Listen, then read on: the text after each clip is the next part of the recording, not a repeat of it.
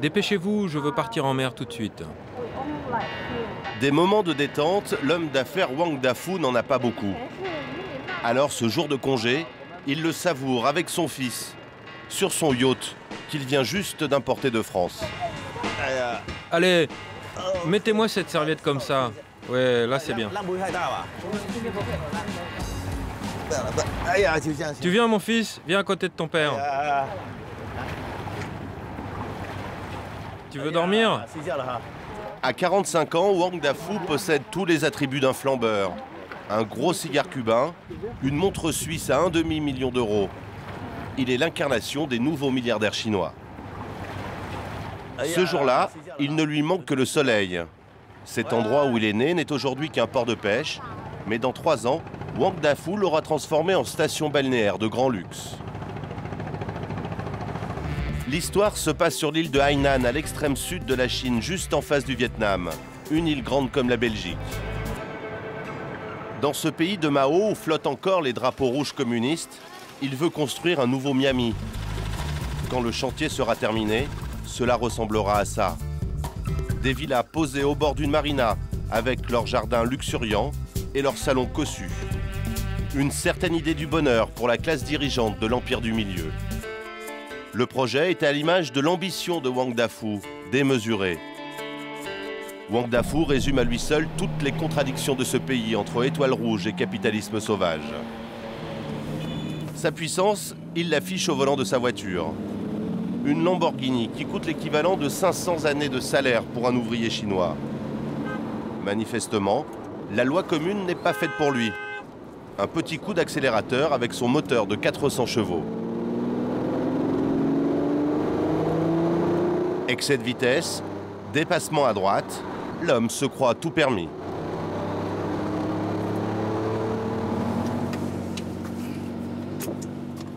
Et c'est la même chose dans ses affaires. Il a déjà construit son port pour yacht, le rêve d'un Monaco, à la chinoise, avec les mêmes navires à plusieurs millions d'euros l'unité. Évidemment, l'eau n'est pas vraiment turquoise et des centaines de bateaux de pêche bouchent l'horizon, mais plus pour très longtemps.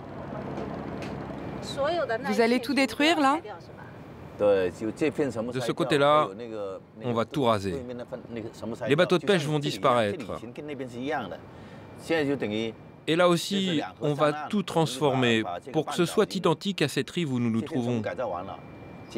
Tout doit être parfait. Les maisons aussi, vous allez les supprimer? Ouais, ouais, ouais, tout, tout sera comme ici. Wang Dafu a décidé tout simplement de déplacer les 20 000 habitants du port.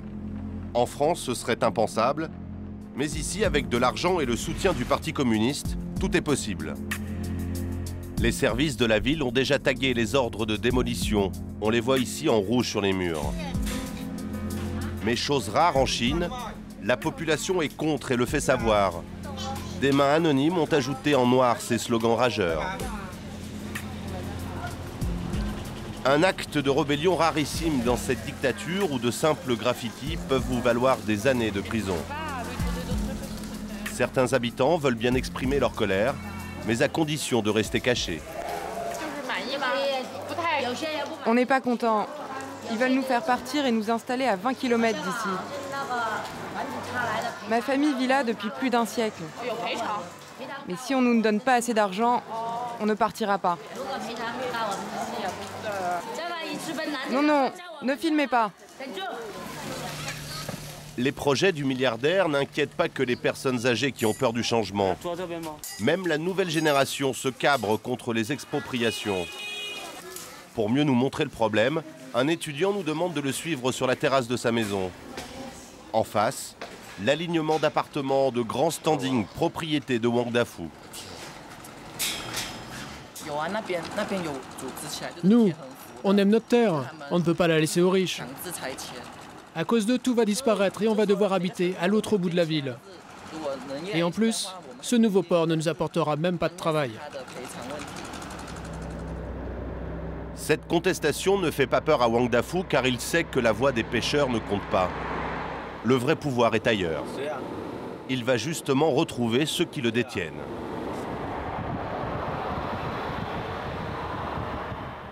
Là où autrefois les rendez-vous avec le parti étaient donnés dans d'austères bâtiments administratifs, c'est aujourd'hui sur les terrains de golf que tout se décide. Des bataillons de jeunes femmes attendent pour porter les clubs. Il y a encore 15 ans, ce sport était réservé aux méchants capitalistes. Les temps ont bien changé ce sont les communistes qui le pratiquent. Pour mieux les impressionner, Wang Dafu a réservé l'ensemble de ce golf qui lui appartient. C'est le plus grand de toute la Chine. Lui là, c'est Monsieur Wang. C'est lui qui nous a invités ici. Ah salut Vous en êtes où dans votre parcours? La règle numéro un en Chine, c'est d'être aux petits soins avec les dirigeants du parti. Ce sont tous des notables avec qui on aime se retrouver. Lui, lui là, c'est l'adjoint au maire de la capitale de l'île. Et on est ici pour s'amuser, entre amis. C'est super, vraiment super. Nous aurions bien aimé questionner ces responsables communistes sur les expropriations massives du petit peuple de l'île. Mais on nous l'a interdit. Prière de ne pas déranger. Le soir même, tout ce petit monde va se retrouver pour fêter le projet immobilier de Wang Dafu. Le chantier avance à grande allure. L'hôtel de luxe reproduit la cité interdite de Pékin. Le projet est démesuré et la fête d'aujourd'hui doit marquer les esprits. Sous un hall magnifique de 12 mètres de haut, une cave à vin. Pour la protéger des 40 degrés qu'il fait dehors, un système de climatisation la maintient à bonne température. C'est pour cela qu'elle est envahie par une brume constante. Ce vin français est considéré ici comme du nectar. Il ne s'agit pourtant que de Minervois, vendu 10 euros la bouteille en France. Mais elles valent en Chine 10 fois plus cher. Et toutes seront bues ce soir.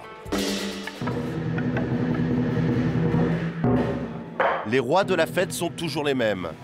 Wang Dafu a bien sûr invité l'élite politique de l'île. Tout homme d'affaires qui se respecte doit se les mettre dans la poche. C'est le cas de ce Français, Jean-Pascal Fix. Il conçoit des centres commerciaux de luxe. Ce soir, il est facile à reconnaître, c'est le seul qui n'a pas compris le code vestimentaire. Avec son costume cravate, il détonne. Le dress code, c'est plutôt polo de marque décontracté. Pour faire des affaires en Chine, il faut connaître les gens qui comptent. Le Français a déjà tissé des liens solides avec Wang Dafu.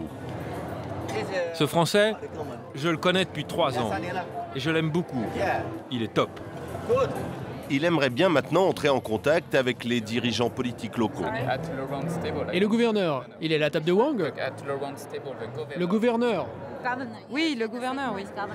Ces hommes du Parti communiste, il n'y a pas si longtemps, portaient des vestes à col Mao. Aujourd'hui, ils préfèrent les vêtements de marque, les bons cigares et le vin français. Mais il ne faut pas se fier à leur apparence informelle. Ils restent tout puissants et le protocole très strict. Un homme d'affaires étranger n'a pas le droit de les approcher. Jean-Pascal Fix doit se contenter de trinquer avec un homme d'affaires local. Il espère que vos deux compagnies vont pouvoir travailler ensemble et faire du bon business.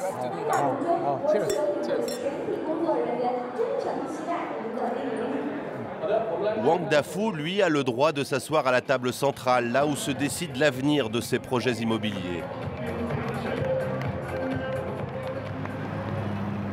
Mais comment vivront les habitants de Hainan quand Wang Dafu aura terminé son chantier? Si beaucoup sont révoltés par le projet, d'autres tentent de grignoter quelques miettes du festin. C'est le cas de John, un ancien pêcheur. Sa connaissance de la navigation, il la met maintenant au service des puissants. Il pilote des hors-bords de luxe pour la marina du milliardaire. Mais il est une exception. La plupart des pêcheurs seront bientôt expulsés et devront chercher du travail ailleurs. John le sait, il a de la chance.